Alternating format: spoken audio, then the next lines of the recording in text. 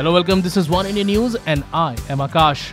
It has been a good day for young bowler Yuzvendra Chahal, who has emerged as a ace in the hold for skipper Virat Kohli. Chahal became the first ever Indian bowler to claim six wickets in T20 International. Before Chahal, no Indian bowler was able to reach this feat. Chahal was also economical as in his 4 overs he just gave 25 runs and claimed 6 wickets. Chahal single-handedly changed the course of the game for Team India.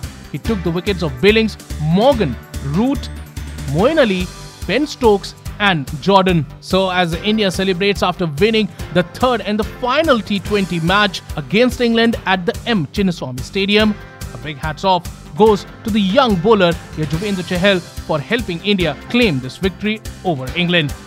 Well, that's all for now, but for more news and updates, log on to oneindia.com and please don't forget to like and share this video. Also, don't forget to subscribe to One India News YouTube channel.